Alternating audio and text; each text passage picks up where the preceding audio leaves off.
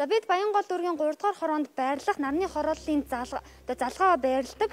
За 9 эрдэ хотхон дээр ирсэн байна. Тэгэхээр 9 эрдэ хотхны оршин суугчдын зүгээс бид гомдол мэдүүлсний дагуу за энэхүү сурвалжлагыг бэлтгэж байгаа маа. Тэгэхээр яг одоо та бүхний харж байгаачлан 9 эрдэ хотхны 1 2 3 дугаар байрыг за энэхүү хашаа тагалсан.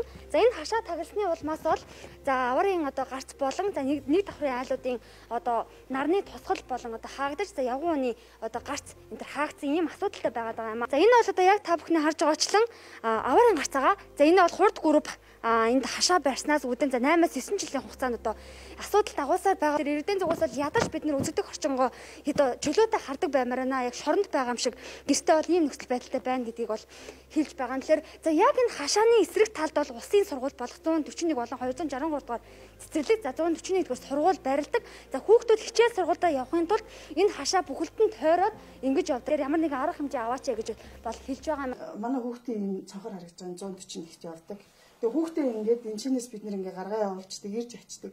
Цонхоор харж болохгүй үзэгдэх юм байхгүй. Ширээ дээрээ цонхныхаа давцсан моцсон дээр гараад бүр дээшээ ингэж ингэж хүүхдээ хардаг байхгүй. Тийм шүү дээ. Энэ хашаа байхгүй шууд сургууль руугаа явчихна. Баггүй юу. Тэгээ энэ чинь айгүй олон э, энэ байранд чинь өвчнөө олон оршин шуугч байгаа. Дандаа хараалгын дагуу энэ цэцэрлэг сургууль хүүхдүүд нь явдаг байгаа байхгүй. Тэгээ 3 жилийн өмнө эмнэлэг шилжүүлэн сурах хаалханд орсон. Тэгээд нэг эмнэлгээс гэртээ гараад ирсэн чи яг нэг шоронд орчиж байгаа юм шиг санагдчихж байгаа юм чи. Гэтэ өдрийн цагт ингээ баян гэрэл асуулттай тэггүй л харахгүй. Тэгэхээр хашаа гэж юм байх шаардлага байгаа мó юм уу? Энэ явганы зам зам дээр болцсон байна. Орцгаар цаацсан байна. Өжигдгөө орчин хязгаарлагдцоо одоо ингээ таанд харахтуудаа гардаа бид нэр юм цонхороо шууд хашаа тоос гараад байж штэ. Гараж буулгадаг шиг хашаа буулгаад өгвөл бид нэр их баярлах байна да. Нэг давхрын айлуудын цонх нь ингээд хаалттай нэг хан хоёр юм шиг юмар хаалттай байдаг. Ер нь бол энэний цаагаар явган үний замц энэний урдуур бол ерөөсөө нэг 2 юу тавьчихсан хашааны цаана бол ер нь тэрэгтэй хүн хүүхэд төрөө явах тийм ямарч боломжгүй л байгаа шүү. Тэгээ энэ хотхон хооронд энэ юу хооронд бол журмаараа ч юм уу энэ юу хашаа хайс байх ёсгүй юм бэлээ. За бид энэ асуудалтай холбоотойгоор хурд группийн гүйцэтгэх захирал Батсанаатай холбогдох гэж байна. За энэ Баянгол дүүргийн 3 дугаар хороонд байрлах нарны хороолтой залгаа 9 эрдэ хотхны урдуур татсан хашааны талаар тоосхон За тэгээд яадаг вэ? Тэр чи ямар өчтэй вэ? За энэ тоосгон хашаа яг ямар ч өчтэй лээ харин. Юу шиг үлдэн наад цаас годмод тойрсон хашаа. Аха ер нь ингэж нийт эзэмшлийн талбайд хашаа барьж татаж болох уу? Журамд бол алга. Хашаанаас олж нийт давхрын айлууд бол одоо ингэж үзэгдэх орчин хязгаарлагдмал нарны тусгал байхгүй нэ гэж аахгүй юу? Наадах чинь эсрэгээрээ манай хашаа барьсны дараа ч өөртөө барьлага барьсан юм аа.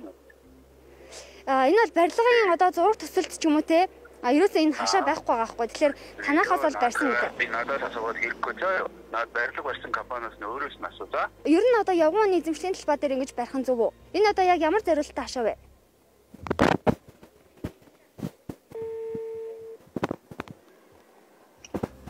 би энэ талаар чам тайлбар өгөх шаардлага байхгүй заа. Чи өөрөө тайлбар авмаар байгаа бол албан ёсоор ханд за. Тэгвэл албан ёсоор яаж хэрхэн хандаж танаас яриа авах боломжтой вэ?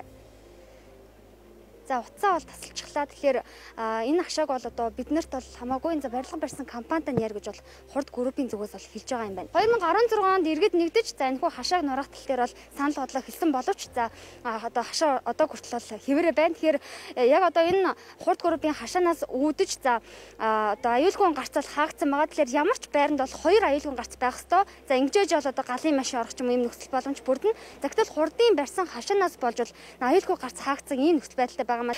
За энэ асуудлаар бол нэгэн иргэн бол за хот байгуулалт одоо хөгжлийн газар гомдол гаргасан. За энэ гомдлын хариуд хот байгуулалт төлөвлөлтийн газраас ямар хариу ирсэн бэ гэхээр за нарны хороол хотхны зураг төсөл бол архитектурын төлөвлөлтийн даалгавар нь бол 2014 онд батлагдаад 2014 он болон за 2017 оны одоо цагаараар бол гарсан 9 өрдө хотны болохоор 13 оны 5 дугаар сарын 16-ны өдөр за архитектор төлөвлөлтийн даалгавар загвар тотоосон гэж батлагдсан байдаг юм байна. За одоо та бүхэнд зураг төслийг харуулъя. За энэ бол хурд группийн зураг төсөл байгаа. За энэ бол 9 эрдэ хотны зураг төсөл байгаа. За энэ дээр мөн хашаа хайлт байхгүй. Барилгын одоо үйл явцал зураг төслийнхоо архитекторийнхоо зураг төслийн дагуу явагдах хэвээр. За хоёрдугаар за нийслэлийн иргэдийн төлөөлөгчдийн хурлын за нийслэлд одоо барих хашаа хайлт барих 2019 онд гаргасан журам дээр ч гэсэн за орон сууцнд бол одоо янз бүрийн хашаа барих тийм ямар ч журам бол байхгүй байгаа даа. Тэгэхээр за энэ журмыг бол нэгдүгээр зөрчиж, хоёрдугаар үндсэн хууль засан иргэдийн эрүүл аюулгүй орчинд амьдрах эрхийг ч гэсэн зөрчиж байгаа юм. Тэгэхээр энэ асуудалтай холбоотойгоор за нарны хорол иргэд бол эсээр тогтхны орчин суугчдын хооронд бол одоо янз бүрийн зөрчил гарсаар байна. Тэгэхээр энийг бас мэрэгжлийн холбоотой байгууллагууд нь шийдвэрлэх юм шаардлагатай байгаа юм аа.